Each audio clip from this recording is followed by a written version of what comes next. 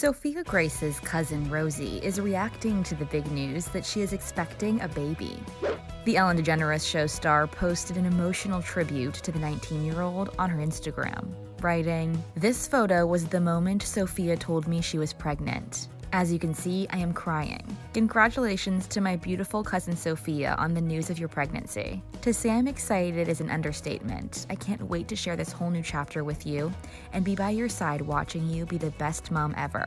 Love you so, so much. Sophia Grace commented on the post. Love you so much. You have always been the best cousin to me. Rosie may be ready to love on the new addition to her family, but she joked that she won't be volunteering to change the little one's diaper anytime soon. Together forever, words can't explain this feeling. So excited for this next chapter. Here for you, we'll buy milk, babysit, but I don't think I can change a nappy just yet. Love you so much, she quipped on her Instagram stories. The internet personalities rose to fame in 2011 when they performed Nicki Minaj's Super Bass on The Ellen DeGeneres Show. On Saturday, Sophia Grace revealed that she was pregnant with her first child on her YouTube channel. In the vlog, she shared that she is 21 weeks along and had been waiting to break the news, giving her followers a first look at her baby bump. I am pregnant.